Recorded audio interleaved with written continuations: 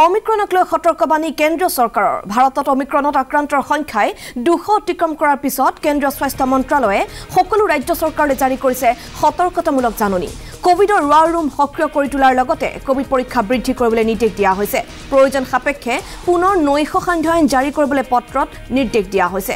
জনসমাগম নিয়ন্ত্ৰণ কৰাৰ পৰামৰ্শ দিয়াৰ লগতে কাৰ্যালয়ত সীমিত সংখ্যক কৰ্মচাৰী নিয়োগ কৰাৰ পৰামৰ্শ দিছে কেন্দ্ৰীয় চৰকাৰে।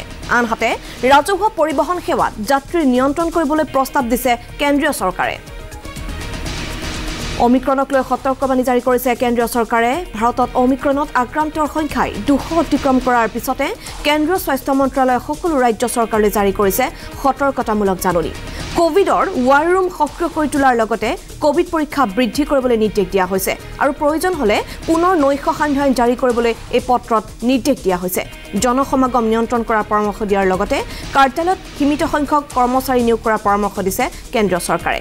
আনহাতে ৰাজহুৱা পৰিবহণ সেৱাত যাত্ৰী নিয়ন্ত্ৰণ কৰিবলৈ প্ৰস্তাৱ দিছে কেন্দ্ৰীয় চৰকাৰে। আৰু এই বিষয়ে আমি আৰু অধিক জানিবলৈ চেষ্টা কৰিম। পোনপটীয়া সম্প্ৰচাৰত জি এম চিত্ৰৰ পৰা আছে আমাৰ সাংবাদিক পাৰ্থ প্ৰতিম ঠাকুৰীয়া। আৰু পাৰ্থৰ সৈতে আছে জি এম চিত্ৰৰ অধ্যক্ষ অচ্যুত বৈশ্য। সমগ্ৰ বিশ্বতে ত্ৰাসৰ সৃষ্টি কৰা কভিড মহামাৰীৰ শেহতীয়াভাৱে যি মাৰাত্মক ভেৰিয়েণ্ট অমিক্ৰণ এই অমিক্ৰণত ইতিমধ্যে দুই ডিচেম্বৰত ভাৰতৰ কৰ্ণাটকত প্ৰথমটো কেছ পোহৰলৈ আছিলে যদিও বা ভাগ্যক্ৰমে এতিয়ালৈকে ৰাজ্যত অসমত এতিয়ালৈকে এটাও কেছ ধৰা পৰা নাই বা পোহৰলৈ অহা নাই। তথাপিও ৰাজ্য চৰকাৰ কেনেধৰণে সষ্টম হৈছে আৰু তাৰ তাৰ লগতে সমান্তৰালভাৱে স্বাস্থ্য বিভাগ কেনেদৰে সজাগ হৈছে সচেতন হৈ আছে প্ৰস্তুত হৈ আছে সেই বিষয়ে জানিম। সমগ্ৰ গুৱাহাটী মহানগৰীত কেনেকুৱা ধৰণৰ স্বাস্থ্য ব্যৱস্থাপনা গ্ৰহণ কৰা হৈছে হৈছে এই মুহূৰ্তত আমাৰ সৈতে আছে গুৱাহাটী চিকিৎসা মহাবিদ্যালয়ৰ অধ্যক্ষ অচ্যুত বৈশ্য ডাঙৰীয়া ছাৰ যদিও এতিয়ালৈকে উত্তৰ পূবত বা অসমত এটাও ক্ৰেছ এতিয়ালৈকে পোহৰলৈ অহা নাই যদিহে ওলায় তেনেদৰে কেনেকুৱা ধৰণে আপোনালোকে মোকাবিলা কৰিবলৈ প্ৰস্তুত হৈছে?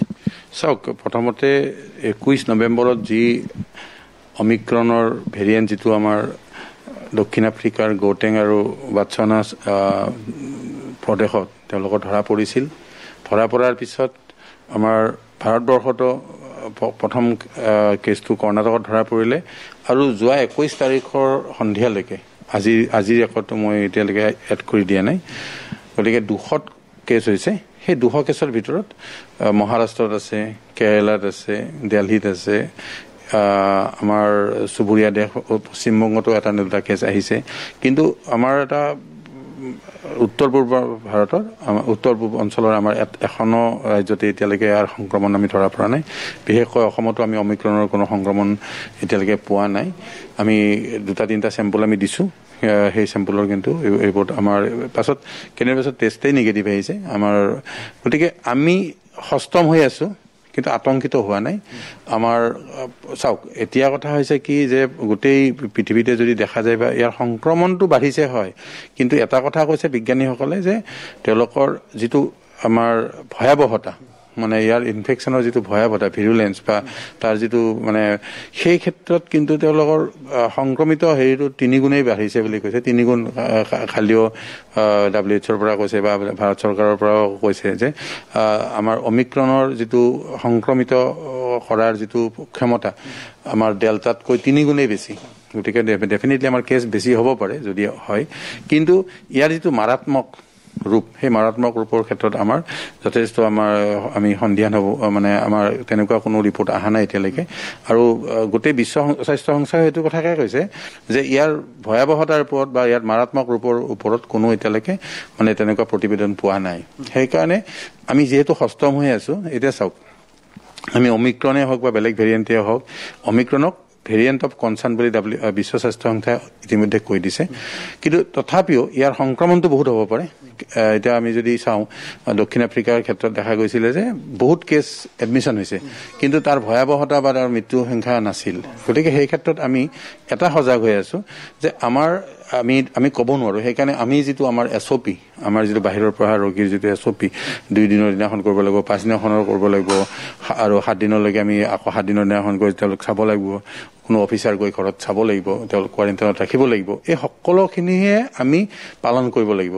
আৰু দ্বিতীয় কথা চাওক এতিয়া হ'ল কি এটা উৎসৱৰ পৰিৱেশ। এতিয়া এক্সমাছ আহিব নিউ ইয়াৰ্ছ আহিব মাঘ বিহু আহিব। এই তিনিটা আমাৰ উৎসৱ মানে বিশেষকৈ উত্তৰ পূৰ্বাঞ্চলত এক্সমাছ বুলি কোৱাৰ লগে লগে পাহাৰীয়া আমাৰ যিকেইখন ৰাজ্য আছে এই পাহাৰীয়া ৰাজ্যখনত যথেষ্ট মানুহৰ সমাগম হ'ব। এই সমাগমত কিন্তু আমি আমাৰ যিটো কভিড এপ্ৰপ্ৰিয়েট প্ৰট'কল বুলি আমি যদি কওঁ মাস্ক পৰিধান কৰা ছ'চিয়েল ডিষ্টেঞ্চিং মানি চলা হেণ্ড চেনিটাইজ কৰা আৰু জুম বান্ধি থকাটো মানে জুম এৰাই চলা এই চাৰিটা বস্তু আমি কিন্তু কৰিব লাগিব। যদি আমি ইয়াক যদি অকমৰ অকণো গাফিলতি কৰোঁ তেতিয়াহ'লে আমি যিটো মানে যোৱা বছৰ যিটো এপ্ৰিল মে'ত আমি যিটো ভয়াৱহতাৰ সন্মুখীন হৈছোঁ সেই সন্মুখীন আমি হয়তো হ'ব পাৰোঁ। সেইকাৰণে ৰাইজক আমি এটাই অনুৰোধ কৰোঁ আতংকিত নহ'ব সচেতন হওক নিজকে বচাই ৰাখক। লগতে আপোনালোকে নিজৰ পৰিয়াল ওচৰ চুবুৰীয়াকো চাওক আপুনি যদি কোনোবা ঠাইত গৈছে বেলেগে যদি মাস্ক পিন্ধা নাই আপুনি তেওঁক সতৰ্ক কৰি দিয়ক যে আপুনি মাস্কটো পিন্ধি লওক। কাৰণ তেওঁ প্ৰটেকশ্যন পাব আপুনিও প্ৰটেকশ্যন পাব। এতিয়া ধৰক চাওক যোৱা বছৰ বিয়াৰ সংখ্যা যথেষ্ট কম আছিল। কিন্তু এতিয়া নৱেম্বৰৰ পৰা ডিচেম্বৰলৈকে এই পোন্ধৰ তাৰিখলৈ এনেকুৱাকৈ বিয়াৰ ধুম উঠিলে যে বহুত বিয়াৰ পৰাই মানুহৰ সংক্ৰমণ বহুত হৈছে। গতিকে সেই উৎসৱ পাৰ্বণ আমি বন্ধ কৰিব নোৱাৰোঁ। কিন্তু উৎসৱ পাৰ্বণ আমি সীমিত মানুহেৰে কৰি আমি তাক আমি সংক্ৰমণটোক বাধা দিবৰ কাৰণে আমি কিন্তু তাৰ প্ৰতিৰোধ কৰিব পাৰোঁ। সেইকাৰণে ৰাইজক আৰু এবাৰ অনুৰোধ জনাওঁ যাতে হয় আপুনি উৎসৱ পালন কৰক কিন্তু সতৰ্কভাৱে কৰক আৰু কভিড এপ্ৰপ্ৰিয়েট প্ৰট'কল মই মানুহৰ ঘৰত যাব মই বাধা দিয়া নাই যাওক। কিন্তু মাস্ক পৰিধান কৰক ছ'চিয়েল ডিষ্টেঞ্চিং ৰাখক আৰু হেণ্ড চেনিটাইজ কৰি ৰাখক। তেতিয়াহ'লে দেখিব আৰু যিবিলাক জুম হয় সেই জুমবিলাক এৰাই চলক। গতিকে এই- তিনিটা এই চাৰিটা বস্তু যেতিয়া মানুহে পালন কৰিব আৰম্ভ কৰিব নহয় তেতিয়া নিজেও তেওঁ ৰক্ষা মানে প্ৰতিৰোধ কৰিব পাৰিব। আৰু অমিক্ৰণেই হওক বা যিয়ে নহওক সেইটোতো মানে আমিতো সকলোৱে এতিয়া জানো যে কভিড কেনেকৈ বিয়পে। গতিকে সেই বিয়পাৰ যি আমাৰ যিটো চেইঞ্জৰ যিটো ট্ৰেন্সমিশ্যন চেইন সেই ট্ৰেন্সমিশ্যন চেইনটো আমি যদি বন্ধ কৰিব পাৰোঁ নিশ্চয় আমি আমাৰ অসমক বচাই ৰাখিব পাৰিম। এক জানুৱাৰীৰ পৰা যিহেতু এম এম চি এইচ বন্ধ হ'ব সাময়িকভাৱে নিৰ্মাণ কাৰ্য আৰম্ভ হ'ব। গতিকে বেডৰ ক্ষেত্ৰত যদি ভয়াৱহতাৰ প্ৰতি লক্ষ্য ৰাখি যদি চাওঁ যদি সংক্ৰমণ বাঢ়ি যায় বেডৰ ক্ষেত্ৰত কিবা কমি আহিব নেকি? চাওক এম এম চিত আমি এতিয়া কভিড আমি ৰাখাই নাছিলোঁ। বিশেষকৈ এইবাৰ যেতিয়া ছেকেণ্ড ৱেভ শেষ হ'ল তাৰপিছত আমি কভিড আমি এম এম চি পাই জুলাইৰ পৰাই আমি এৰি দিছিলোঁ। গতিকে তাত সাধাৰণ হস্পিটেল চলি আছিল। আমি আজিৰ দিনতো যদি কভিডৰ কাৰণে আমাৰ প্ৰায় এঘাৰশ বেড আমাৰ গুৱাহাটী মহানগৰীত ৰেডি আছে গুৱাহাটী চিকিৎসা মহাবিদ্যালয়ৰ অধীনত। গতিকে আমি যথেষ্ট সষ্টম হৈ আছোঁ। আমাৰ মেন পাৱাৰে হওক বা অক্সিজেনে হওক বা দৰৱেই হওক সকলো মজুত আছে। আৰু লগতে আমাৰ যিটো বিচনাৰ সংখ্যা আই চি ইউৰ সংখ্যা প্ৰায় চাৰিশতকৈও অধিক আই চি ইউ আমাৰ কভিডৰ কাৰণে মজুত আছে আজিৰ দিনত। প্ৰায় সাতশ আঠশ বেড আমাৰ কভিডৰ কাৰণে আমাৰ মজুত আছে। গতিকে আমি সষ্টম হৈ আছোঁ। আমাৰ হাতত পৰ্যাপ্ত পৰিমাণৰ ঔষধ আছে পৰ্যাপ্ত পৰিমাণৰ চিকিৎসক আছে।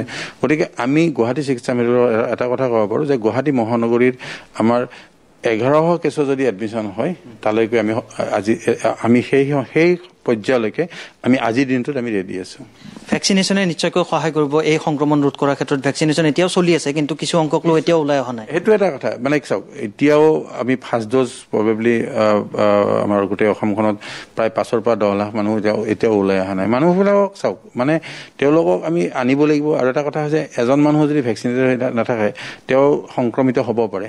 গতিকে সেই ক্ষেত্ৰত কওঁ আৰু এইখিনিতে আৰু এটা কথা উনুকিয়াই দিওঁ যে আপুনি মোক যিটো আগৰে প্ৰশ্ন সুধিছিল যে বেডৰ কিবা নাটনি হ'ব পাৰে নেকি?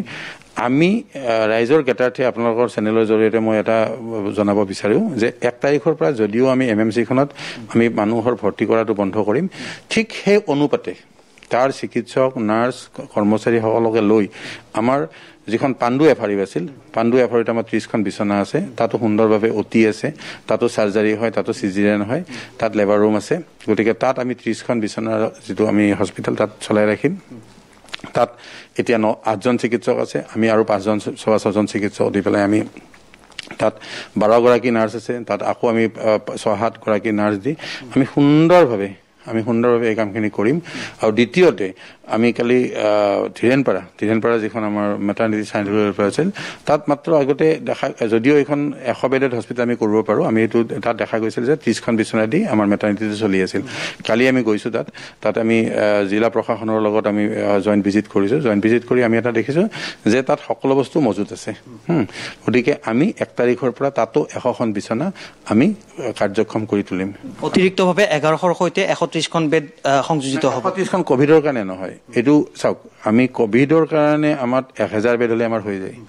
মই যিটো দেখিছোঁ যোৱা ছেকেণ্ড ৱেভতো তাতকৈ যদি বেছি হয় আমি এইটো ব্যৱস্থা ল'ম। কিন্তু এতিয়া আমাৰ এক হেজাৰ মজুতে আছে। কিন্তু আমি মই এই যে ধীৰেণপাৰা আৰু পাণ্ডু কৈছোঁ এইটো নন কভিডৰ কাৰণে। কাৰণ সাধাৰণ ৰোগী ক'ত যাব? সাধাৰণ ৰোগী ধীৰেণপাৰা আৰু পাণ্ডুত যাব। গতিকে এশ ৰোগী আমি আগতে ধীৰেণপাৰাত অকল মেটাৰ্নিটি কেছ গৈছিল এতিয়া নহয় তেনেকুৱা। তাত মেডিচিনে হওক বা চাৰ্জাৰীয়ে হওক বা আইয়ে হওক বা ই এন টি হওক যিকোনো কেছে যাব পাৰিব। আৰু তাতে আমি এশ বিচনাৰ ব্যৱস্থা কৰিছোঁ। এক তাৰিখ ধন্যবাদ ছাৰ। এয়া আছিলে জি এম চি এইচৰ অধ্যক্ষ অচ্যুত বসু আৰু ইতিমধ্যে আমাৰ আগত সদৰি কৰা অনুসৰি ৰাজ্য গুৱাহাটী মহানগৰীতে কেৱল এঘাৰশখন বেড কভিডৰ বাবে প্ৰস্তুত আছে ইতিমধ্যে সাজু কৰি তোলা হৈছে আৰু এশ ত্ৰিছখনকৈ অৰ্থাৎ এম এম চি এইচৰ পৰা যদি স্থানান্তৰিত কৰা হয় তেনেহ'লে ধীৰেণপাৰা আৰু পাণ্ডুৰ যি এফ আৰ ইউ আছে তাত এশ ত্ৰিছখন নন কভিড পেচেণ্টৰ বাবে সাজু কৰি ৰখা হৈছে। হয় পাৰ্থ আপোনাক ধন্যবাদ জনাইছোঁ আৰু সম্পূৰ্ণৰূপে সষ্টম হৈ আছে ৰাজ্য চৰকাৰ।